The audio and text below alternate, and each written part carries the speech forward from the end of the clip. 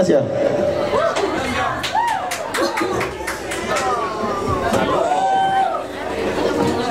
Esto se llamaba eh, 1989 eh, de nuestro último disco Hijos del Hombre.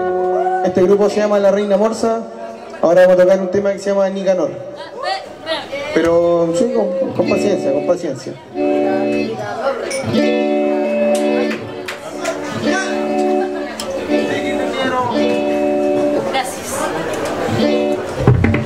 Nosotros también la queremos.